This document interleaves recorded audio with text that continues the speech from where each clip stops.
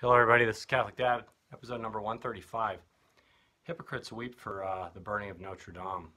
Um, so, Notre Dame is one of the uh, the pinnacles of Catholicism in Europe, and uh, it's a, really a symbol of uh, French uh, Catholicism. And so, what has the Catholic Church brought, brought Europe? Well, there's a great book out there by Thomas Woods uh, called "How the Catholic Church Founded Western Civilization," and it essentially did. You know, the Catholic Church gave us everything from um, well, first off, I don't even know if you know this, but slavery was essentially abolished by the 9th century in Europe because of the Catholic Church. it was only brought back after the Reformation, um, and uh, really not many Catholic countries took part in uh, the slave trade afterward. I mean, there were some, but uh, for the most part, the Catholic Church rid the world of slavery by the 9th century, and then it came back after the Reformation. but um, the Catholic Church gave us the scholastics, it gave us the, um, scholarship programs, it, I mean, it gave us the university system, it gave us um, uh, international law, it gave us the, the treatment of migrants and uh, indigent people, and everybody say, say, well, slash and burned all the immigrants on the, uh, the, the North American continent and the South American continent. Well, not exactly, and if you want to get into that, we could probably uh, talk more on that, but the Catholic Church uh, helped civilize uh, pagan people uh, all around the world. Now, it gave us great things. Um, and for the most part, the Catholic Church has probably led to, um, through its thinking of science, I mean, the Catholic Church gave us the study of science, it gave us the university system, it gave us free thought. And I don't know if, even if you know, I don't know if you know this, but in Europe, back in the, um, at the time of Copernicus and Galileo, um, there were um, there were two courts. There was the uh, civil court system and the ecclesiastical court system. Uh, the civil court system was uh, handled by uh, the sovereign states, and the ecclesiastical court essentially was dealing with crimes of thought. And um, what the ecclesiastical court would uh, do is it would come in when people were being persecuted unrighteously in the civil courts and try them in the ecclesiastical courts uh, and free them. There was a, there was a priest named Juan de, Mariana, Juan de Mariana of Spain that essentially said that if somebody debases a currency, um, they're deserving of um, assassination. This was back in Spain, and um, you know, the, uh, Spain threw him in, in, jail for fomenting hate. Well, the church came in and actually freed him and said, you know, that's a, not a, that's a thought crime. You can't, you can't, um, you know, throw somebody in jail for a thought crime. And so there was, there was always the ecclesiastical court that was coming in and freeing people from tyranny and oppression from the civil, from the civil courts. And um, you know, in fact, the, the Inquisition. I don't know if you know how that was formed, but the inquisitors, the Inquisition courts were formed by the church. Essentially, they were ecclesiastical courts.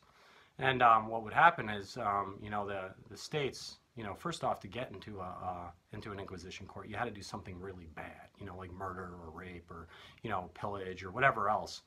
And then, um, you know, because uh, Spain was being overrun run by the Moors and the Muslims, um, you know, they were having some pretty harsh trials on, on people, and they were telling them to they have to uh, convert to Catholicism or else they'll be burned after they already committed all, or you know, burned, but they'll be killed uh, after they committed all these horrible crimes. They had to be guilty of the crime for this to happen. Well, the, the church instituted something called the Inquisition courts, which were uh, essentially to come in and slow the, the process of the civil courts down and actually give the people a fair hearing and a fair chance to actually convert that uh, they wanted to actually uh, create less deaths, not more deaths. And so the Inquisition was actually a court system created by the church um, to um, save people's lives and save people's souls and like to actually slow uh, the civil courts down and actually tell the courts if they actually gave them fair trial. And so, um, you know, everybody thinks the Catholic Church is horrible, but it's it's fed more peasants than any, like all the organizations in the history of the world combined. It's, uh, it's led to the sciences, it's led to the Industrial Revolution, it, it's led to uh, amazing artwork, um, and, um, you know, well, anyway, so it's done great good, but, so the hypocrites weep for the, the burning of Notre Dame. You know, I've seen all these weepy people on Facebook and social media, like they espouse heresy, right? Um, they talk about you know women's rights to choose. They talk about you know contraception. They, they talk about forcing people to pay for other people's contraceptions, and you know essentially the far left liberal ideology, which in the terms of the church is absolute heresy. And so, what are they weeping for, really? Because they are personally burning the Catholic Church on social media through heresy, right? They're actually um, um, standing up and saying things against the formal teachings of the church. and what the church stands for. And then they weep for the burning of Notre Dame. Like, if they hated the church to begin with, why do they love the building of Notre Dame?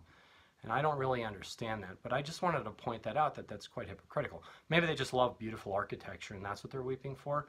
But if they're weeping for the institution of the Roman Catholic Church for losing Notre Dame, then they better do some self, um, uh, you know, analysis and say, well, why are you weeping? Because you every day go on social media and actually state things that are completely heretical. And um, you know, and this this deals with and there's a whole host of things. You know, um, uh, sexual sins. You know, um, uh, you know, birth control, killing babies, you name it. Um, so well, anyway, uh, so those who are weeping for Notre Dame, think about the Catholic faith before you weep for it. Because if you actually hate the Catholic faith, don't shed a tear for the Cathedral of Notre Dame. Just don't do it. It's completely hypocritical. Um, and then maybe shed a tear for your own life. Because if you're sitting there leading people into sin and lead, leading people into scandal through your social media posts, maybe you should be weeping for the people you're harming. And so I guess that's Catholic Digest making you think about it. I mean, I want all the good thoughts and prayers to come towards the people of France. But don't don't say platitudes when you mean something else. Don't don't act like you're a virtuous per person because you care about a cathedral, but you hate the faith that the cathedral stands for. Because uh, the faith that the cathedral stands for gives you the capacity to say whatever you're saying about the faith that you're, you know, that, that the faith brought you. So, yeah, it gave you life. It gave us Western civilization. It gave us the university system. It gave us immigration law. It gave us justice. It gave us freedom. It gave it gave us everything. And and um, that's how Western civilization was founded. And so if you weep for Notre Dame, weep for your faith. Don't be a heretic. You know, um, be a righteous person and stand up for, uh, you know, his holy church. I mean, Christ gave us a church. It was Roman and it was Catholic. And uh, it was only after 1,500 plus years that people figured, well, that's not the right church. Let's invent a new one. Yeah, and so, well, anyway, this is Catholic Dad making you think about. Please, please like or subscribe. And um, yeah, share with your friends, and uh, God bless. Um, and do pray for the French people, even if you're a heretic. Thank you. God bless you.